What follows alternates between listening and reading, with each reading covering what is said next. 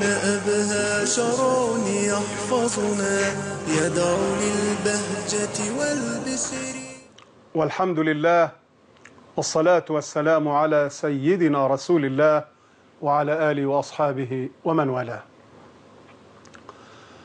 أريد أن أقول لبناتي وليحفظن عني هذه العبارة.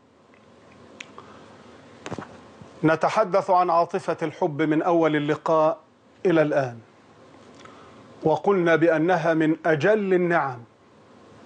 لا نقاش في هذا وهي سر اجتماع الناس وتعايش الناس. نريد أن نقول هذه العاطفة إن لم تكن سببا في مزيد من العزة والكرامة. لي فلا حاجة لنا فيها. نعم. والعزة والكرامة التي أتحدث عنها هي رصيد كل فتاة. رصيدها من الحياء والعفة والكرامة والعزة. هذا رأس مالها الذي ينظر إليه الخطاب أو الخاطبون فيتوجهون إلى البيوت الكريمة. وما دمت تتمسكين بالقيم والأخلاقيات الرفيعة وأهم هذه الأخلاقيات العفة والنزاهة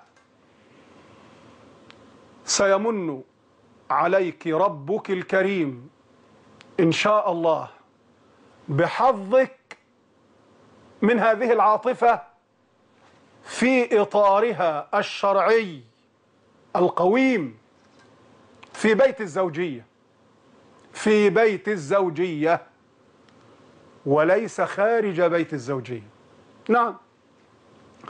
لأن ربنا الكريم لما قال وجعل بينكم مودة ورحمة هذه المودة وتلك الرحمة تكون في بيت الزوجية وهذه البينية في بيت الزوجية ومعنى وجعل بينكم أي وأنشأ بينكم مودة ورحمة. بعد أن أخلص كل منكما للطرف الآخر وبعد أن يعني حرص كل طرف على مصلحة وما يحبه الآخر وكان حريصا على إسعاده ولم يدخر وسعا وجهدا في إسعاد الطرف الآخر. إذا دخلنا الحياة الزوجية بهذه النفسية وقد أضمرنا الإخلاص لبعضنا أبشروا أبشروا بإذن الله بأعلى درجات المودة والرحمة. وإيه؟ وبأسلوب أرقى. وبرعاية الإسلام الإسلام الحنيف. وفي وتحت ظلاله. حينها إن شاء الله سيمن علينا ربنا. بالحب في أرقى درجاته وأسمى معانيه.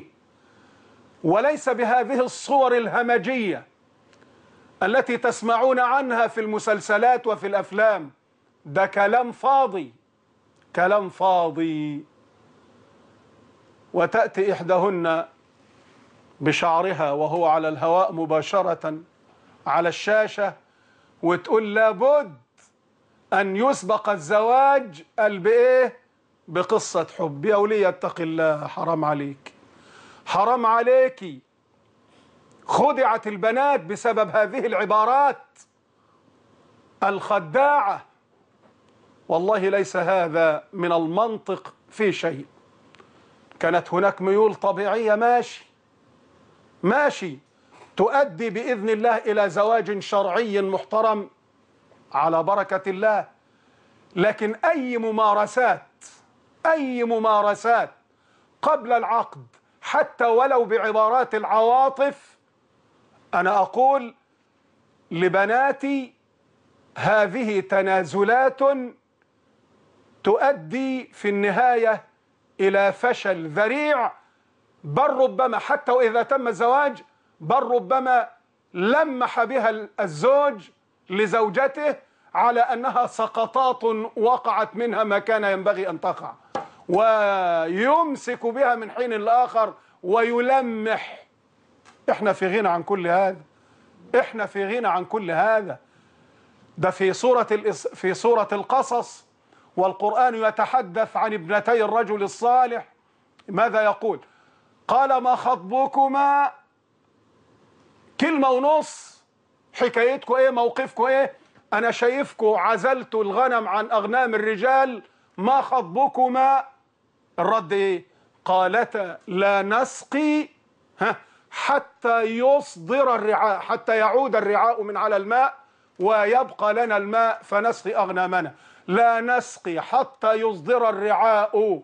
وإذا كانت المسألة لفتت نظرك وأبونا شيخ كبير. يعني لو كان أبونا قادرا على سقي الأغنام ورعي الأغنام لجنبنا ذلك. لكننا اضطررنا للخروج لأن أبانا شيخ كبير. فسقى لهما ثم تولى إلى الظل قال رب إني لما أنزلت إلي من خير فقير. ماذا تلاحظون؟ الإجابة على قد السؤال.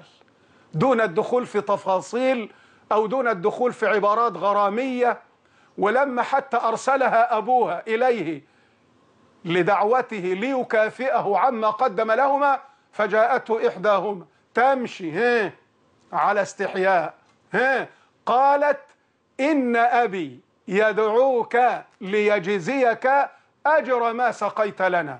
يعني الدعوة ليست من قبلي وكان يمكن أن تستغل هذا التكليف وتدعوه بنفسها.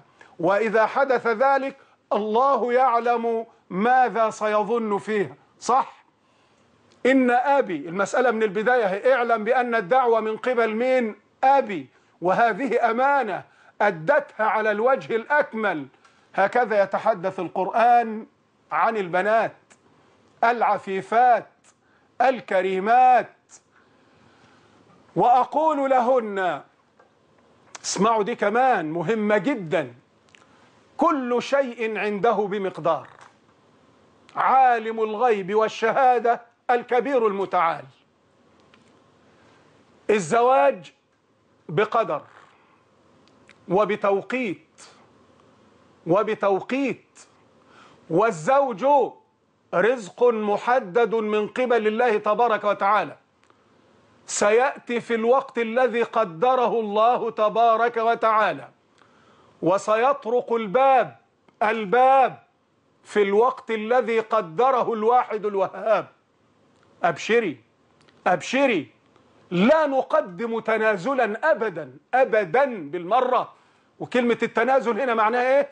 أي مخالفة تخالف شرع الله وقيم الإسلام الحنيف الذي أكرمنا الله به لا يجوز مطلقا.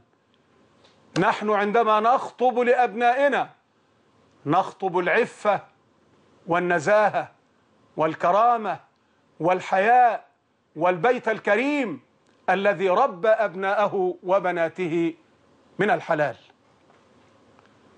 إذا أريد أن أنصح إخواني ممن هم في سني وممن تجاوزوا الخمسين.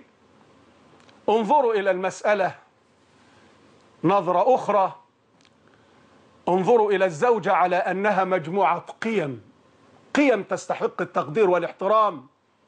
بدلا من إذلالها وإهمالها لاحظ أنك أيضا تقدم بك العمر ولا ينبغي أن تهدر كرامتك على عتبات البنات إلا إذا كانت الضرورة ملحة والظروف فرضت نفسها وما إلى ذلك. حينها سيكون الأمر يعني طبيعيا وسنلتمس لك حينها عذرا. المهم هذه الكريمة رفيقة العمر أيا كان وضعه وما وصلت إليه من السن والصحة تستحق منك التكريم والحب. وأؤكد أعلى درجات الحب وأرقى درجات الحب الحب بعد الخمسين شكر الله لكم. وسلام الله عليكم ورحمته وبركاته. الأسرة في ظل الإسلام عدل ورخاء.